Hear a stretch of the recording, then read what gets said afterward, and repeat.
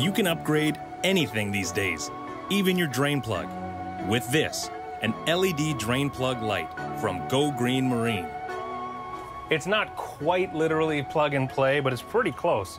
So this uh, command module here, the brains of the operation, the control box, it has a male and female connector. This is connected to the actual drain plug light. And the vital thing, doesn't matter where you put this on your boat, this needs to be able to be seen by the remote to work. So this has to be above the deck. Then you have a simple two-wire connection to power to hook up. And then mount the control box somewhere secure but out of the way.